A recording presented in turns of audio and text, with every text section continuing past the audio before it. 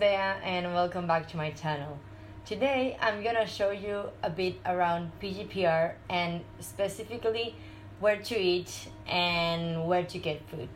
So the main place to eat is the Aircon canteen and there you have many different stalls like rice, rice and chicken, um, mix. You have Malahapa which is it's good.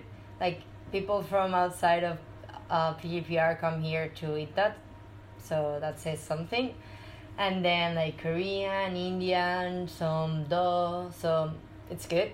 And at the end of it, there's also a little store where you can buy drinks and some snacks. And basically, you get your food and then you sit wherever you want. And there's also sitting space uh, upstairs. Then we have the non-aircon canteen, which has less stalls, and even though it's non-aircon, it's actually not bad because it has these huge fans. And also there is another little store um, where you can get drinks. But yeah, there aren't as many stalls, but it's not bad.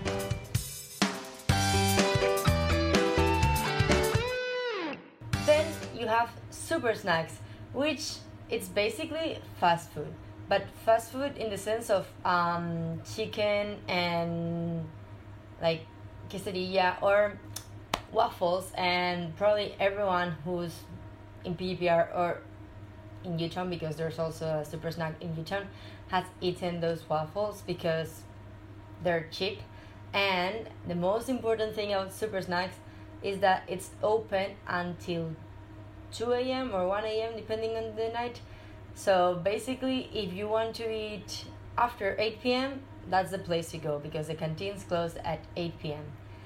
So yeah, and it's also a place where you can meet with other students and play cards and just hang out. So it's good. And finally, in the main plaza, you have this store called Pick and Go. And basically, to enter, you need to download an app and you connect your card or I connected the GrabPay wallet and it shows you a QR that you have to scan and it takes a picture of your face and basically you can get whatever. There is a bit of everything like some essentials is like toiletries and a lot of food and a lot of snacks and you just take anything you want and you go out and there like you don't have to go through a cashier or anything. It's just automatically done because it's recording you. So it's good and it's always open.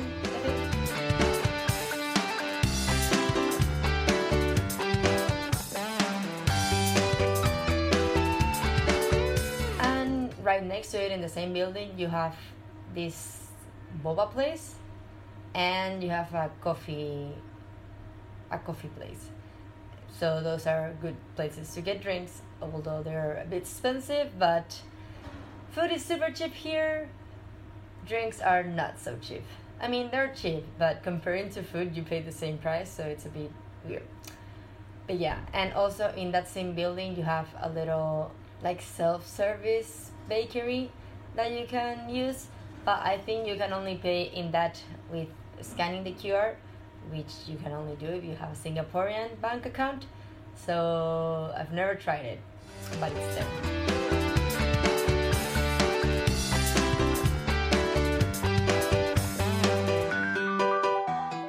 From the main plaza, that is the AC canteen. Their tables are right there. That is the pick and go. And if you go straight there, you go to the non-AC canteen. But yeah so there are many places to eat around. And if you get tired of them you can of course you can cook because you have a kitchen.